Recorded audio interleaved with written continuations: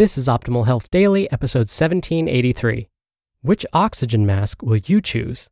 By Adi Redzic of adiredzic.com. And I'm Dr. Neil.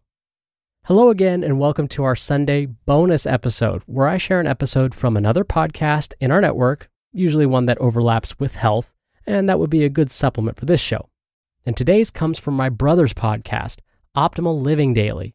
You can find that podcast wherever you're hearing this. And so, with that, here's my brother Justin as we optimize your life.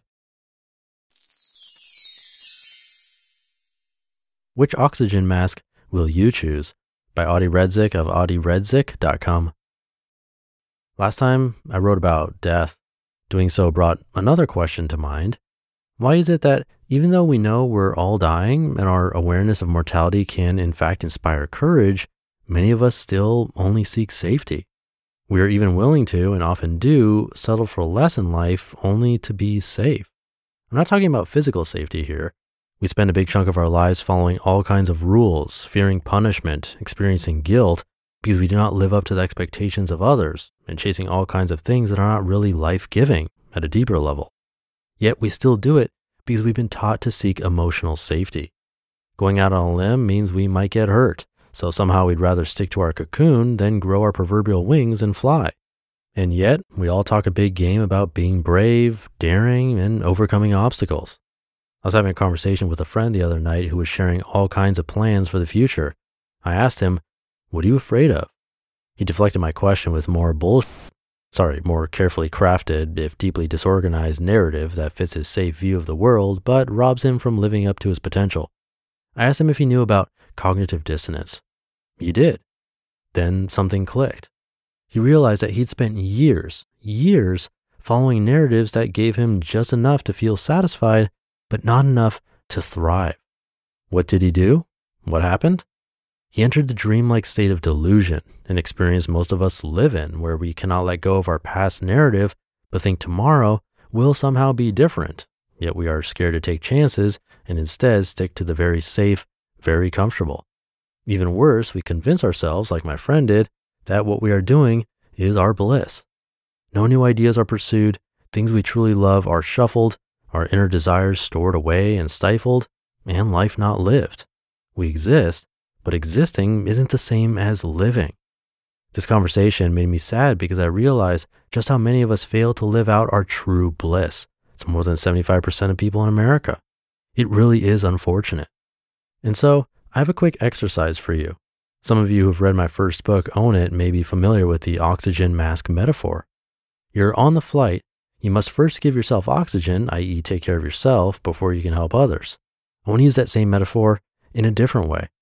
Imagine you had to make a choice between two oxygen masks. Which one would you choose? Number one, an oxygen mask that will drop right in front of you and will drip oxygen in, giving you just enough to survive, but never giving you what you need to fully wholly fill your lungs. Your lungs will not expand to their natural potential, but you will live. This mask will last the length of your flight, although other unforeseen circumstances might cut your flight short. Or number two, an oxygen mask that will fill your lungs completely, so much that you might even experience a high and have enough to give to others. But this mask comes with a catch. It's not right in front of you. You have to get up, leave the safety of your seat and potentially your companions on the flight, unless they want to come with, and march down the aisle, probably experiencing some turbulence, running into all kinds of people, and possibly getting their drink spilled on you, and maybe even getting hit here and there. This isn't a safe choice exactly, but it will fill your lungs to the proverbial brim. Which one will you choose?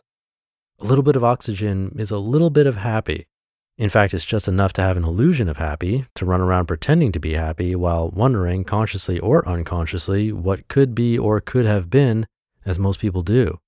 But are you really happy?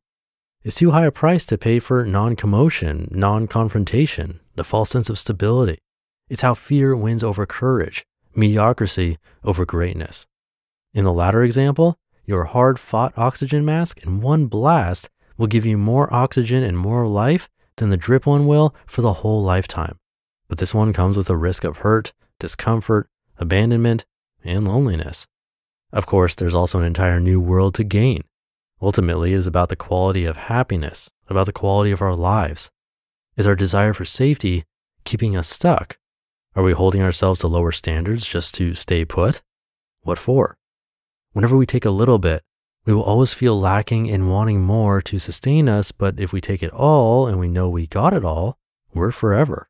We've reached our full potential. We are living our bliss. How do you know which mask you are currently pursuing? Pay attention and the answer will reveal itself. If it doesn't scare you, it's the first one. In life, in those defining moments, we have choices to make. It's when we use our full potential in any situation that true, authentic fulfillment comes in.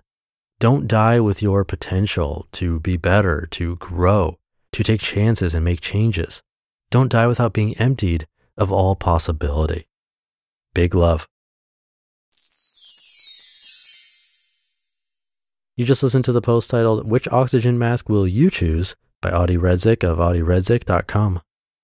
Thank you to Adi. A great thought exercise for all of us during this time or during any time, really. Something to address frequently if you can, which is why this podcast exists in this form. I feel like we need a daily reminder to think about these things, hearing from authors of differing perspectives on topics that make us question what we're doing. That's what personal development is all about at least for me. And probably why you're here too. I guess I'm preaching to the choir. So I'll leave it at that. Hope your week is going well, as well as it can during these crazy times. Thank you for being here and listening to me and for subscribing to the show. That's the only way I've been able to continue doing this. It's by you subscribing, telling friends about it, and coming back to listen.